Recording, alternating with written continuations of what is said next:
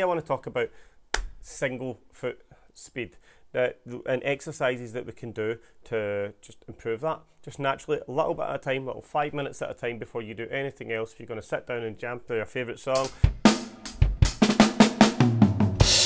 or one single pedal. It's always good to get your foot trained up as much as it can. Um, it can get you out of sticky situations in live playing. So there's a few exercises you can do They're very simple for five, ten minutes at a time, uh, just every so often. If you do them quite regularly, your foot will naturally just speed up a little bit.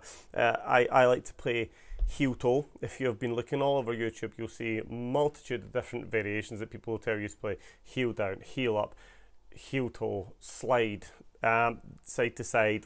There's many, and I'm not going to talk in detail about any particular one. I personally like heel toe just because it works for me, and that's why I wouldn't go into detail on them because every different technique works for one person or another, and sometimes a technique just is no good for someone. It's personal preference, really. You just really need to dig into one and try it. If it doesn't work for you, try something else.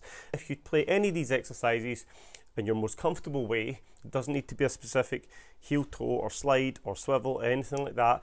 If you just play it in your most comfortable way, your foot will get faster.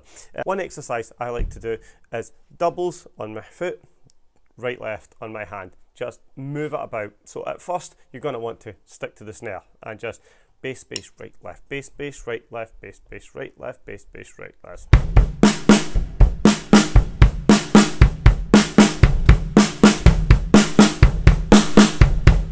If you can get that going, and it's even is the main point, then do it to a metronome you can get if you don't have a metronome you can get one and it's an app on your phone any phone they're all free. Um, you can get one free on google. Just type in metronome. Google has its own metronome believe it or not and try it there. See if you can speed it up slowly. Don't speed it up any more than five or ten beats per minute at a time because it's just going to get really sloppy really quickly and you'll wonder why. You were really good a minute ago and you're really poor at it now. You need to bring the increments up really slowly. So try um, that until you can get a decent speed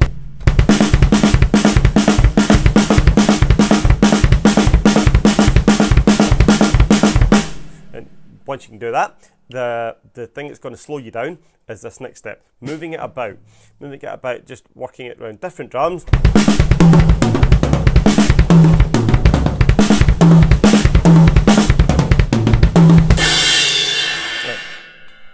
Once you can do that again, you have to start that slow just because you're orchestrating about the kit, you're, you're going to lose coherence of what you, how your foot sounds. Once you can move that about slowly, again, just do it with a metronome, bring it up slowly. You'll find if you stick nice and slow increments on the metronome, your metronome, your foot will uh, pick its own speed up eventually. And then another exercise I like to do is four with your hands. So bass, bass, one, two, three, four. Just because this can be used as actual fills um, when you're playing. If you if you're using it as a day-to-day exercise, you could chuck that in as a fill. You could quite easily do it because you have been practicing it, trying to do it at speed. So a, a reasonable speed fill um, wouldn't be as fast as what you're trying to get your foot to go. So if you practice this every day, bass bass one, two, three, four, you're you're getting six. You're getting six. bass bass one, two, three, four. bass bass one, two, three, four. And then you're going to have to do bass bass 1 2 to make it 16 so if you play that.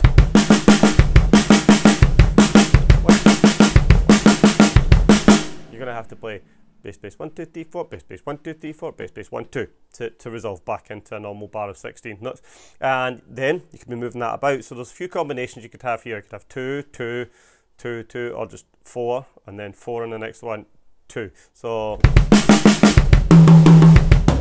have it like that. You could split them into twos. You could work around the kit.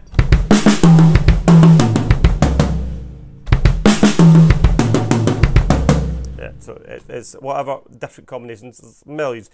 Then if you're quite sure of it, you can split it up a bit. So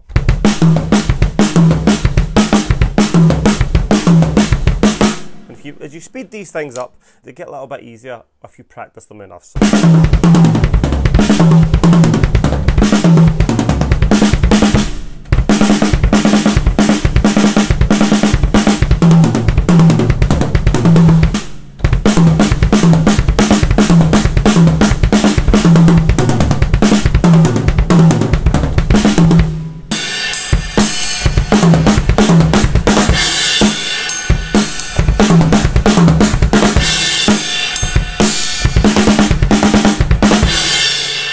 Them a go. The more you practice them nice and slow, and slowly speed it up with a metronome, you'll get nice and smooth.